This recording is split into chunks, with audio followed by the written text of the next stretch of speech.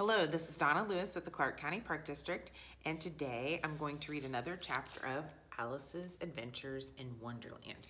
Again, a crazy story written a long time ago by a little girl, and then written into an actual book by a Reverend Lewis Carroll.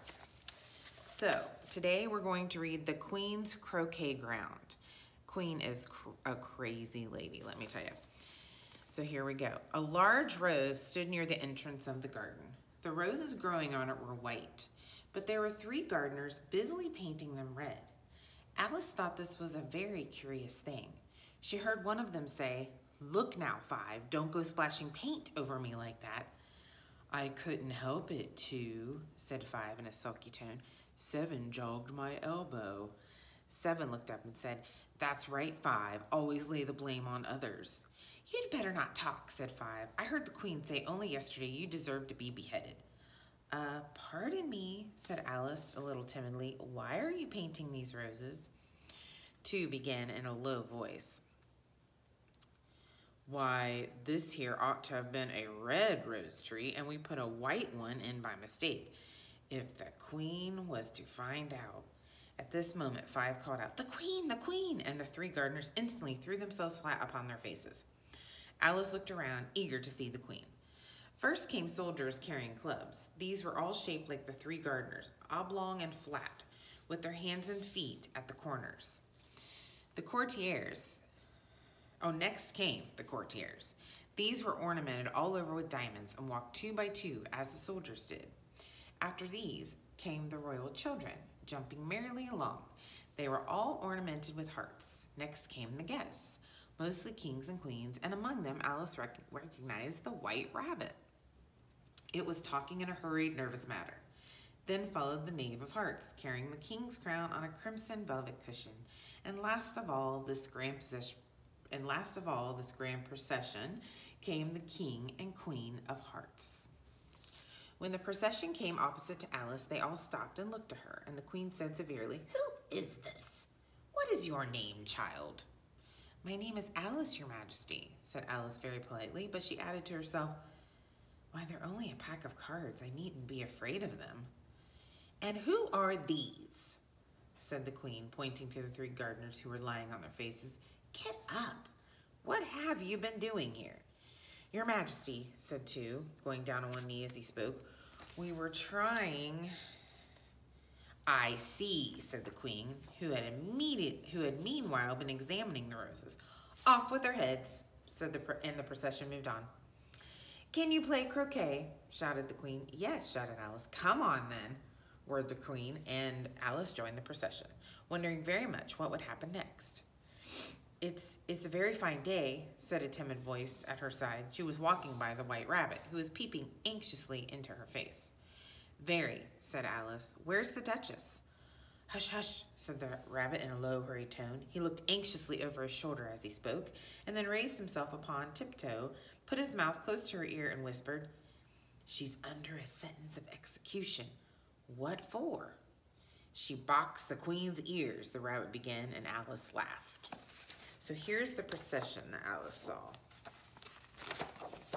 It looks like some kind of crazy card game got the king and the queen of hearts. Then, oh, the white rabbit. And her soldiers look like playing cards. So you may have seen that in other pictures before of Alice in Wonderland. And then here's the rabbit whispering to Alice about the Duchess.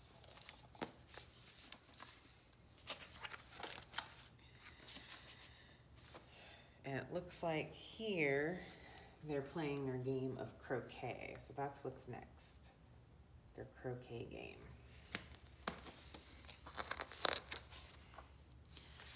Oh, hush, the rabbit whispered in a frightened tone. The queen will hear you. You see, she came rather late, and the queen said, Get to your places, shouted the queen in a voice of thunder, and people began running around in all directions, tumbling up against each other. They settled down in a minute, and the game began. Alice had never seen such a curious croquet, croquet ground in all her life. The balls were live hedgehogs, the mallets live flamingos, and the soldiers had to double themselves up and stand upon their hands and feet to make the arches. Alice succeeded in getting her flamingo's body tucked under her arm with its legs hanging down, but just as she had gotten its neck straightened out and was going to give the, the hedgehog a blow with its head, it would twist itself around and look up in her face with such a puzzled expression that she could not help bursting out laughing. When she looked down, she found that the hedgehog had unrolled itself and was in the act of crawling away. I would too. Besides all this, the doubled up soldiers were always getting up and walking off to other parts of the ground. The players all played at once without waiting for turns. The queen went stomping around and shouting, off with his head, and or off with her head, about once in a minute. Alice had not yet had any dispute with the queen, but she knew that it might happen any minute. She was looking around for some way of escape when she noticed a curious appearance in the air. After watching it a minute or two, she could tell it was a grin. How are you getting on? said the Cheshire Cat, as soon as there was mouth enough for it to speak with. Once the whole head appeared, Alice put down her flamingo and began an account of the game, feeling very glad she had someone to listen to her. I don't think they play at all fairly, Alice complained, and they don't seem to have any rules. So here is the Cheshire Cat, and it looks like the Queen has found the Cheshire Cat at this point. Here in a minute. How strange, a head appearing in the air. Who are you talking to? said the king, coming up to Alice and looking at the cat's head with great curiosity. It's a friend of mine, a Cheshire cat, said Alice. Allow me to introduce it. I don't like the look of it at all, said the king. He called to the queen, My dear, I wish you would have this cat removed. The queen had only one way of settling all difficulties, great or small. Off with its head, she said without even looking around.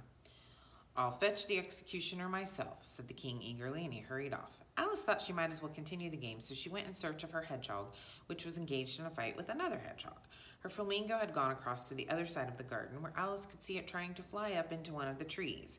By the time she had caught the flamingo and brought it back, both hedgehogs were out of sight, so she tucked the flamingo under her arm and went back for a little more conversation with her friend. When she got back to the Cheshire Cat, she was su surprised to find quite a large crowd collected around it. There was a dispute going on between the executioner, the king, and the queen, who were all talking at once. The executioner's argument was that you couldn't cut, cut off a head unless there was a body to cut it off from. The king's argument was that anything that had a head could be beheaded and that you weren't to talk nonsense. The queen's argument was that if something wasn't done about it immediately, she'd have everybody executed. Alice could think of nothing to say except, it belongs to the Duchess. You'd better ask her about it. Fetch her here, the queen said to the executioner. The executioner went off like an arrow. The cat's head began fading away the moment he was gone, and by the time he had come back with the Duchess, it had entirely disappeared. The king and the executioner ran up and down looking for it while the rest of the party went back to the game. You can't think how glad I am to see you again, you dear old thing, said the Duchess as she tucked her arm affectionately into Alice's and they walked off together. Alice was very glad to find her in such a pleasant temper and thought to herself that perhaps it was only the pepper that had made her so savage when they met in the kitchen. So here's the crazy queen and her court looking up at the Cheshire cat. But they can't really do anything to the cat, right? Because he can disappear. And here is that crazy game of croquet again. Now that we got to that part that Alice was playing.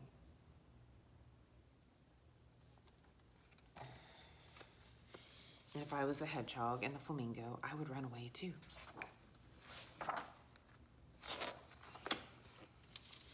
When I'm a duchess, she said to herself, I won't have any pepper in my kitchen at all. Maybe it's always pepper that makes people hot-tempered, and vinegar that makes them sour, and sugar and such things that make children sweet-tempered. She had quite forgotten the duchess by this time, and was a little startled when she heard her voice close to her ear. You're thinking about something, my dear, and that makes you forget to talk. I can't tell you just now what the moral of that is, but I shall remember it in a bit. Perhaps it hasn't one, Alice ventured to remark. Tut tut, child, said the Duchess. Everything's got a moral, if only you can find it. And she squeezed herself up closer to Alice's side as she spoke. Alice did not much like her keeping so close to her because she was exactly the right height to rest her chin on Alice's shoulder, and it was an uncomfortably sharp chin. However, she did not like to be rude, so she bore it as well as she could. The game's going on better now, she said. Tis so, said the Duchess. And the moral of that is, oh, tis love, tis love that makes the world go round. How fond she is of finding morals in things, Alice thought to herself. Thinking again, the Duchess asked with another dig of her sharp little chin. I've got a right to think, said Alice. Just about as much right, said the Duchess, as pigs have to fly. But here the Duchess's voice died away, and the arm was linked into hers began to tremble. So the people in this show, are, in this story, are pretty strange. So do you think it's just a dream that she's having? I would venture to say that. Alice looked up, and there stood the queen in front of them with her arms folded, frowning like a thunderstorm. A fine day, your majesty, the duchess began in a low, weak voice. I give you fair warning, shouted the queen, stamping on the ground as she spoke. Either you or your head must come off. Take your choice. The duchess took her choice, and she was gone in a moment. The queen said to Alice, Have you seen the mock turtle yet? No, said Alice, I don't even know what a mock turtle is. It's the thing mock turtle soup is made from said the queen. Come on, then. And he shall tell you his history. As they walked off together, Alice heard the king say in a low voice to the company, You are all pardoned. That's a good thing, she said to herself, for she had felt quite unhappy at the number of executions the queen had ordered. So supposedly the queen says everyone's in trouble, but then they're not. So that's good.